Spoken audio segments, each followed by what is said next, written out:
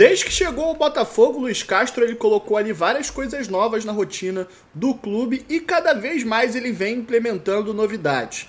A de hoje é que ele acabou com a concentração para o jogo contra o Ceilândia e os atletas vão se apresentar hoje, no dia do jogo, para poder entrar em campo. A gente vai conversar melhor sobre isso aqui no nosso vídeo de hoje, só que antes eu vim só te pedir para você se inscrever no nosso canal, deixar o sino da notificação ativado, deixar o seu like, o seu comentário compartilhar esse vídeo com os botafoguenses que você conhece, porque será esse o vídeo do Reserva Negra de hoje. Meu nome é Cara Barbosa e bora pro vídeo. O técnico Luiz Castro implantou mais uma novidade na rotina do Botafogo.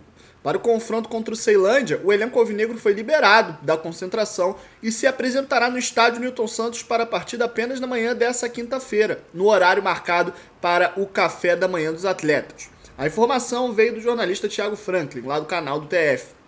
A ideia é que esse modelo seja repetido e utilizado mais vezes nos jogos que forem realizados em casas nesse último horário aí dos jogos do dia de semana, o horário das 9h30, obviamente quando for realizado no Newton Santos. Desde que chegou ao Botafogo, o Castro ressaltou várias vezes em declarações e entrevistas coletivas a necessidade do clube em trabalhar não só a parte física dos atletas, como a mental também, fazendo com que eles possam passar mais tempo ao lado da família. Segundo Castro, isso é imprescindível para uma equipe ir bem dentro de campo. Até por isso, o Botafogo vem é, viajando em voos fretados para poder sair mais tarde e chegar mais cedo em casa.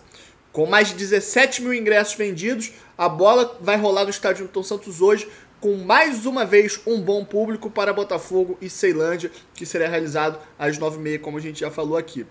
Com a vantagem de poder perder por até dois gols de diferença. Como a gente venceu ali o primeiro jogo por 3 a 0 a gente pode até perder por 2. Se a gente perder por 3, vai para os pênaltis. E para a gente ser eliminado no tempo normal, teria que perder por 4 gols de diferença, o que provavelmente não deve acontecer. Então, graças a essa vantagem de poder perder assim por um placar elástico, o Glorioso deve confirmar sem grandes problemas a sua classificação para as oitavas de final da Copa do Brasil. Mas de qualquer forma, a gente vai acompanhar muito de perto essa partida aqui, até porque existe a probabilidade grande do Botafogo poupar alguns jogadores que vêm jogando e colocar alguns jogadores que não vêm atuando. E aí serve para a gente poder observar de perto e tirar conclusões sobre alguns outros atletas. Vamos observar, vamos assistir e vamos falar muito dele aqui ainda hoje. Para você não perder nada, não se esqueça de se inscrever no nosso canal, deixa aí o seu like, deixa o seu comentário e compartilha esse vídeo com os botafoguenses que você conhece. Passar no nosso site você vai ter mais informações, tem também a nossa loja do Reserva Negra e as nossas redes sociais. E é basicamente isso. Até o próximo vídeo, tamo junto, um abraço, valeu!